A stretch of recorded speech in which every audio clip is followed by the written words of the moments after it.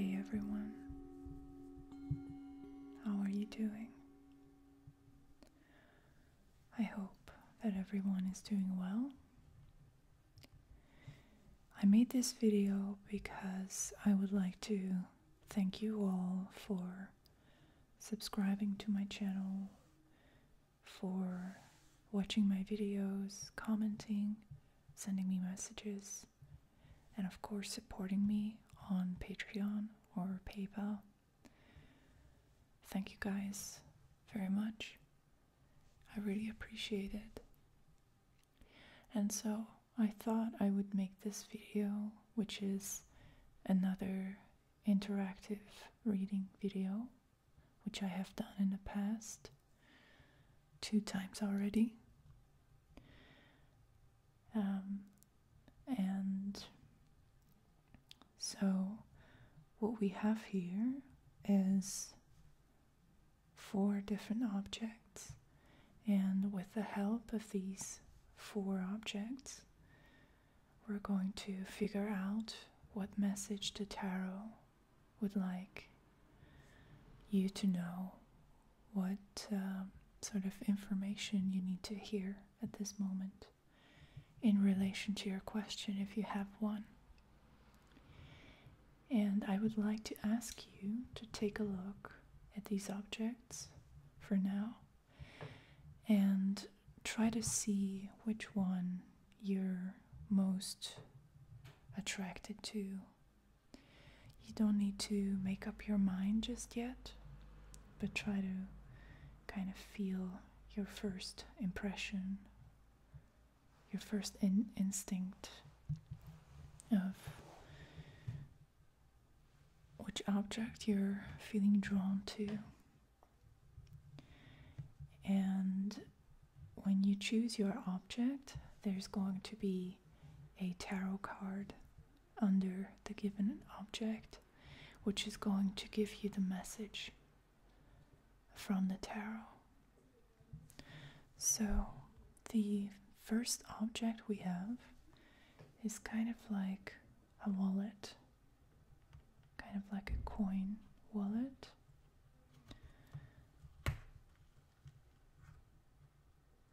And it has these beautiful flowers, roses on it. And I believe it's made of leather. And it's really pretty. The second object is also very pretty, gorgeous. It's um, a little treasure chest, I would say, a tiny little box that has this interesting lid and these decorative patterns on the side. And it's also empty.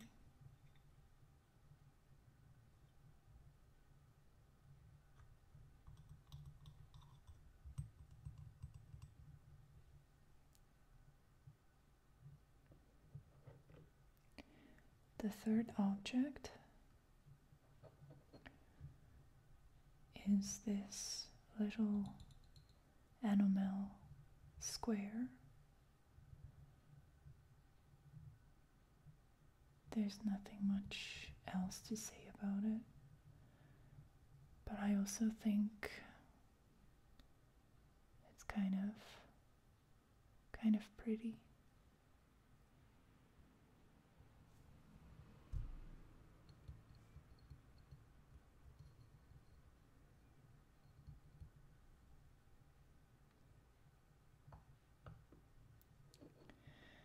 And the fourth and last object is actually the lid of some kind of a container. And there's this really intricate Greek style drawing on it. I think it's made of clay.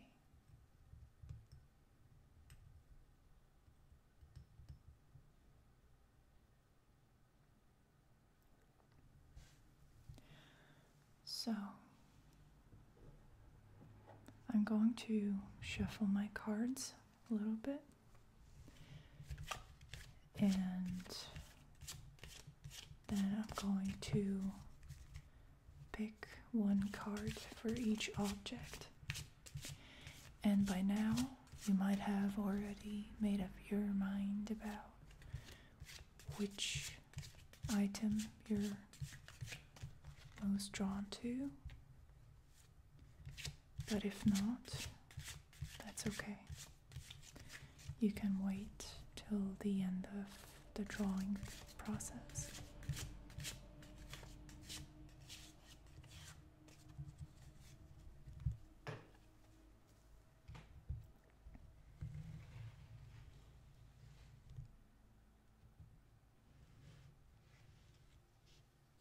Okay. So this one, this first card is the for the first item.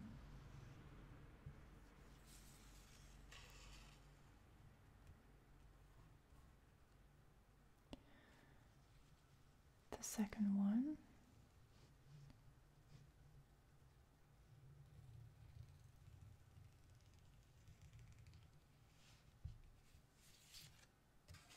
All right.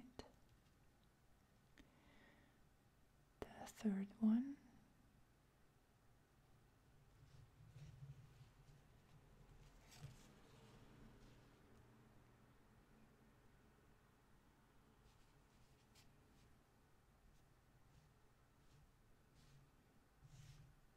And the last one, the fourth one.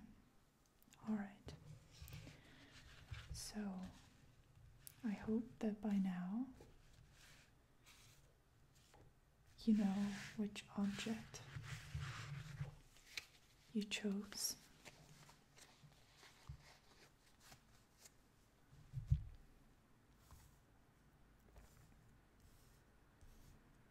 Okay. So, the way we're gonna do this, if you picked the first item, just keep watching.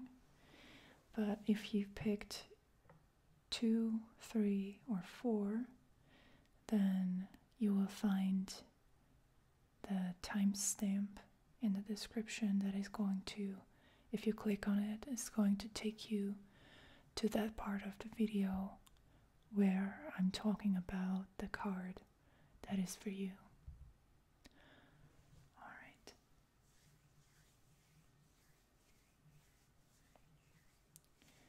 So, first one.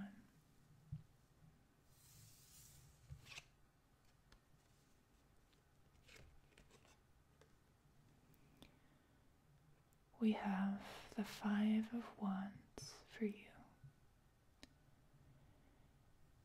And I would just like to say that if you picked the first item, I believe that you are someone who has a a personality that is very much driven by a desire to keep peace and to be balanced. Very much, very Libra like energies are at play here, I believe. And with the Five of Wands, we have a message that might be a little bit unpleasant to hear. Because the Five of Wands is a warning that there's some kind of disharmony, some kind of conflict coming your way. And for you, since you're kind of sensitive and caring and you like to be non confrontational, for you, this might be kind of a stressful situation.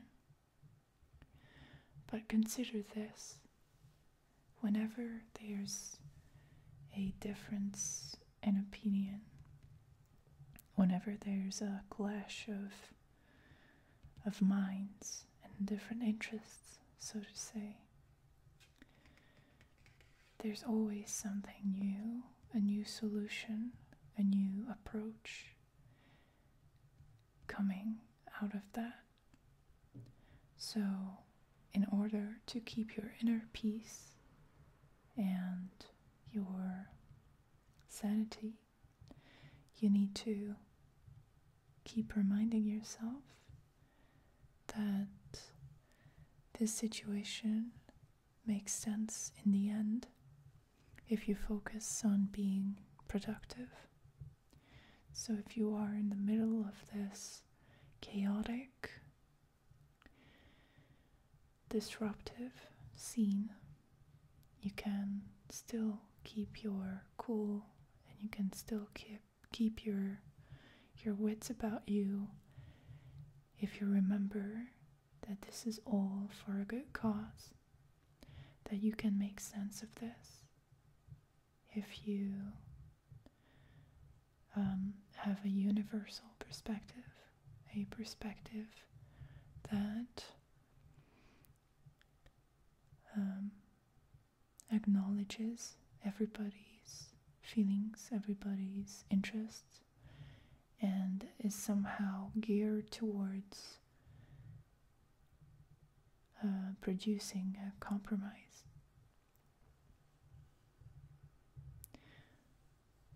So, if you had a question, a specific question in mind, the answer is that. Uh, whatever you asked about is not as easy as it seems, that there's a lot of tension and a lot of different personalities and different uh, concepts, concepts and plans that are clashing. But the point is the same you can make the best of it if you focus on being productive.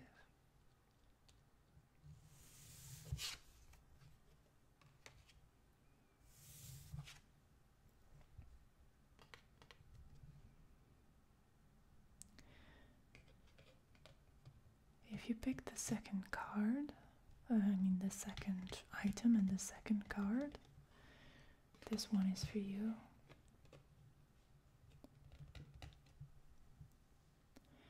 And we have the Four of Cups for you. Now, just by knowing that you picked this item out of this line of different objects is telling me that you are somewhat of a secretive person, somebody who keeps things to themselves. And you have a very high um, sense of aesthetics that you're you're someone who has a, a really good taste someone who is um, into the mysterious and the aesthetic side of the mysterious if that makes sense the poetry that's behind it. And the Four of Cups is actually a card that resonates pretty well with that kind of personality. The Four of Cups represents uh, someone who decides to turn inward instead of engaging with the world. And in this situation, we have a blessing, we have some sort of an offering, someone reaching out, and the person sitting by the tree is rejecting this offer and instead is uh, motionless and perhaps a little bit emotionless as well, and is focused on his or her own mind. If you had a specific question for which uh, this card is the answer, then I would say that the situation or what or who you asked about is in a kind of a dormant state in many ways, especially emotionally. It's not as accessible, it's not as open and communicative. And on the other hand, if we're looking at the positives of this card, we have uh, someone or a group of people who are searching for their own truth, people who are interested in finding their own inner peace. And if this apathy and introversion is not taken too far, this can be a very valuable and a very productive state of mind, depending on what you want to do. If um, it's somehow action oriented, well, this card is very passive, so it suggests a lack of initiative, a lack of engagement, no interaction. If it's about creativity, then it could be it could be positive because it's all about uh, accessing deeper layers of consciousness by disengaging from the world.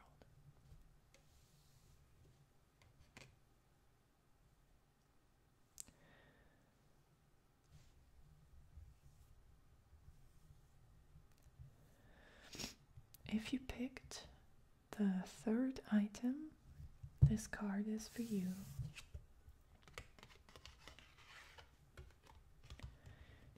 And this card is the Queen of Swords.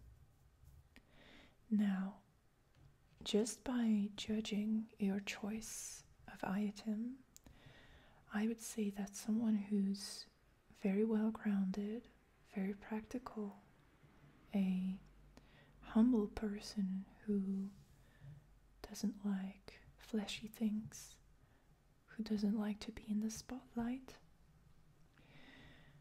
and someone who has a, a need to find meaning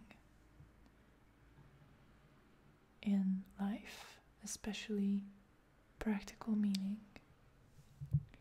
Now, the Queen of Swords is very well aligned with this uh, with this item because the Queen of Swords is the toughest queen in the tarot.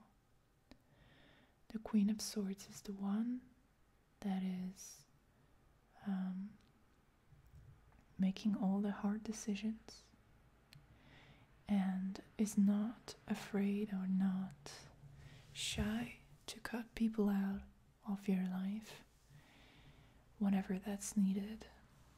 She's not um, afraid to take dramatic action when it's needed and to cut cords with uh, someone or something that is no longer relevant or no longer beneficial.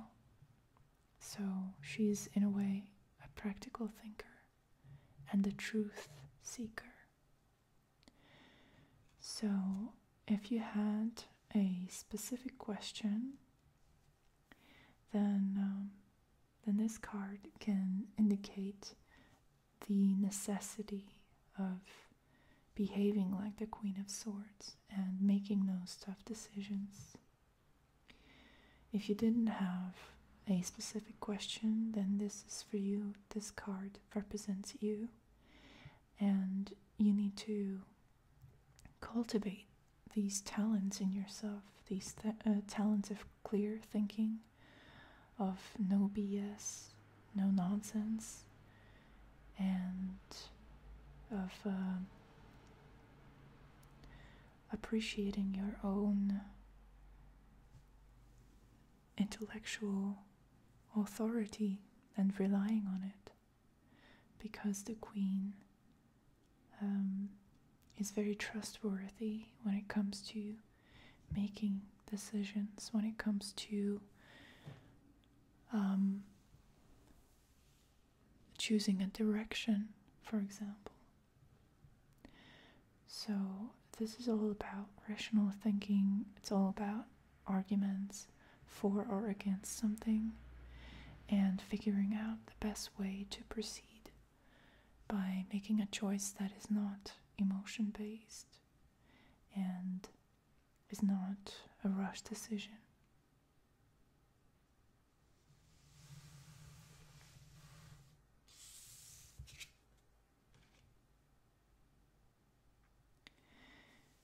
If you picked the fourth item, then this card is for you.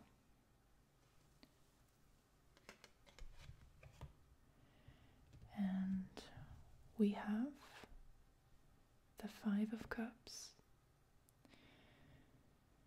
And uh, judging by which item you picked from the variety of different items we had here, I would say that you are someone who has kind of a classical approach to life, someone who likes tradition in certain ways.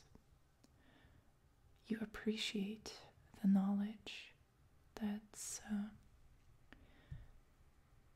that's coming from the past, and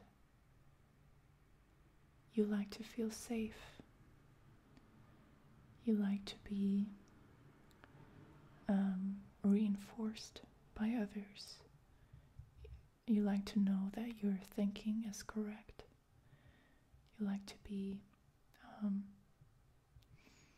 you you need some some sort of approval or to align your thinking with other people's theories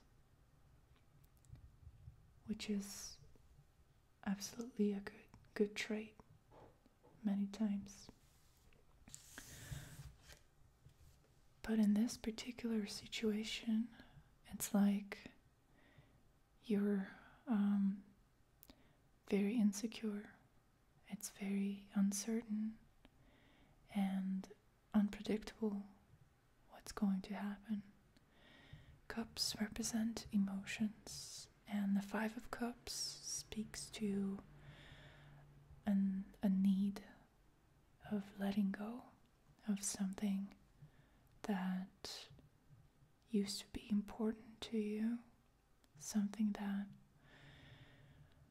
used to be almost like a part of you, of your being.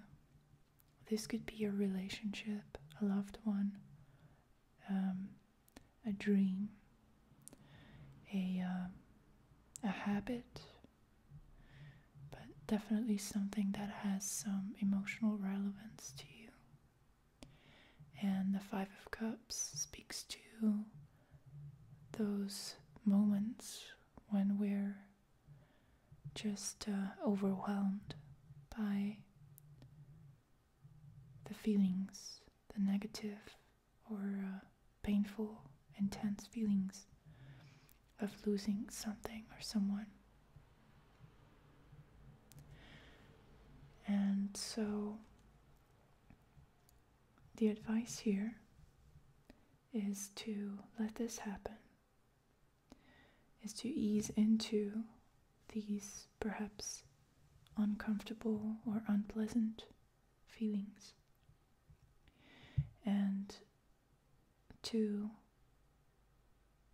let them work through you, let them work their way through you and let them pass. Because this is a minor arcana card, so there's nothing permanent here. It's a temporary state. If you're if you had a question about something, then this card signifies the need to let go of perhaps someone or some aspect of a situation and all the emotional ramifications of it. So, take good care of yourself and be patient with yourself. Give yourself some time. I'm pretty sure you have heard about the, uh, I don't know how many steps of, of grief. And you go through those stages and then you're purified and you're stronger than before. And even if you didn't actually lose someone, like no one has passed away, even if it was something abstract or an inanimate object, perhaps, there's still an element of grief, and you need to respect that in yourself and you need to understand that. So be compassionate with yourself, and things will work out. This is only temporary.